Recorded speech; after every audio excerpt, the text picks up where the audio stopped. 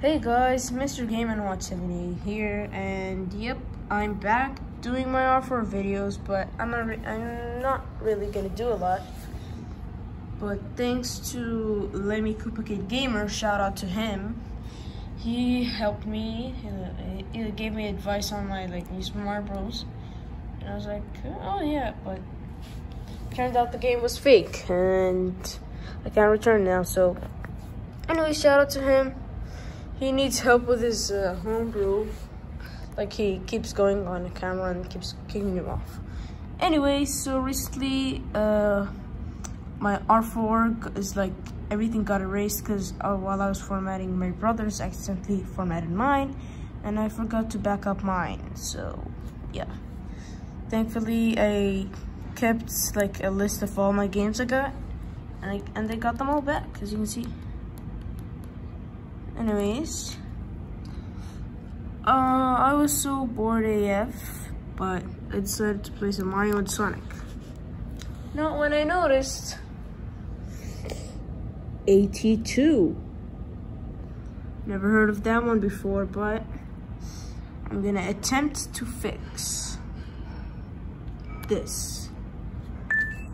So, let's get to work take our SD card out, put inside the SD card, and let's put it in our computer.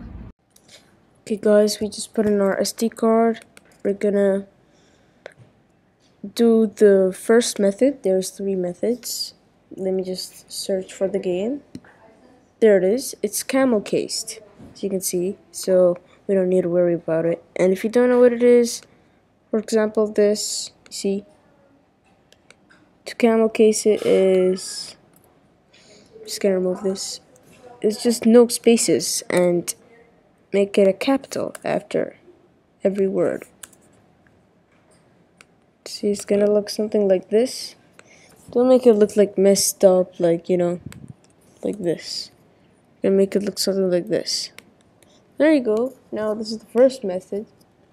The second one is pretty easy. You just need to drag all the files into a folder called backup or anything. Drag the folder in here. So that's everything.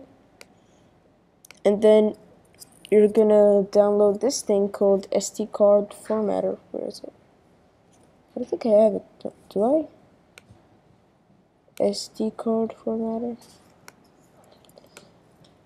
just need to format it to FAT32 on Windows it's pretty easy but I just found something.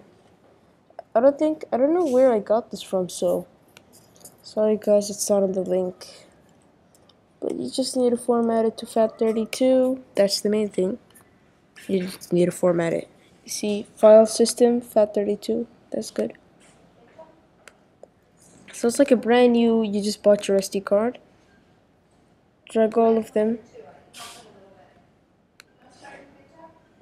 in here.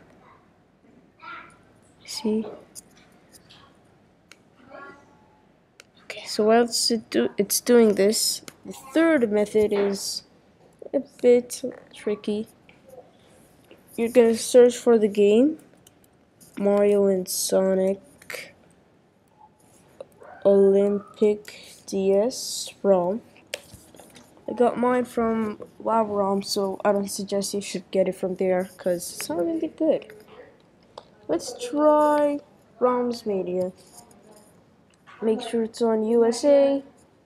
It depends on, like, for example, my 3DS is, is European, but I like USA because it's better. It's up to you. I mean, I'm not telling you.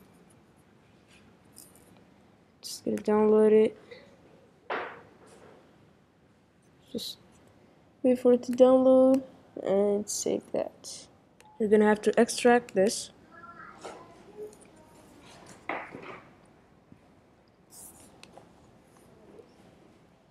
While it's extracting I'm just gonna put this in the trash. Get this out. Okay so we're gonna camel case this I'm just gonna make it called Mario and Sonic. So this is like already camel cased, I think. Yeah, it's, it's like cap. It has capitals. And we're just gonna take this. Um, and then replace it. Where's, uh, what do you call it? Mario and Sonic. There it is. So this we're gonna just put in the trash.